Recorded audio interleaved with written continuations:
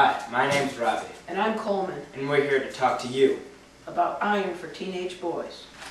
The RDA Or recommended daily allowances for teenage boys. is 11 milligrams. Foods provide the Emi iron, a molecule that is easily absorbed by the body.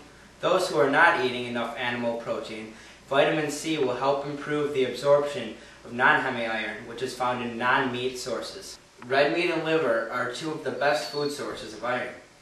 Poultry and fish are also good iron-rich animal foods.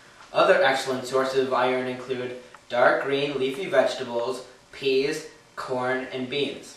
Dried fruits, eggs, iron-fortified breakfast cereals, breads, and pastas. Here we have a list of selected food sources of iron, or animal foods.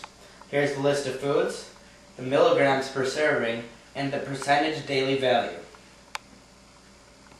Here we have a list of non-Emi iron, which is plant and iron fortified foods. Again, we have the foods down here, the milligrams per serving, and the percentage daily value. Here are some more selected food sources with non-Hemi iron. Some Quaker oats. Whole wheat bread, White bread, whole grain cereal, raisins, lentils, kidney beans. and spinach. Here are some selected food sources with Emi iron. Ground beef sirloin, some absolutely disgusting chicken liver in a baggie, some oysters, some crab meat, some drumsticks, and some chicken wings.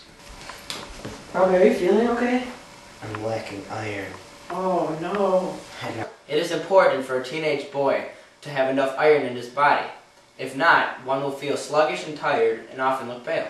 This is due to the lack of healthy red blood cells which carry oxygen to the body. High doses of iron can result in poisoning, heart disease, and damage to the liver. Iron overdose can also cause diabetes and arthritis. Iron supplements are rarely needed for teenage boys. However, should iron deficiency anemia occur, iron is available. The dose depends on the severity of the anemia and should be determined by a physician.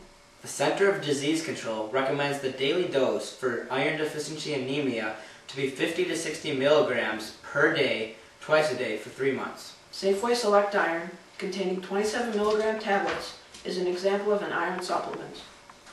The bottle contains 250 tablets and costs $5.29 plus tax, bringing the price per day of 2.3 cents to 4.6 cents if taken twice daily.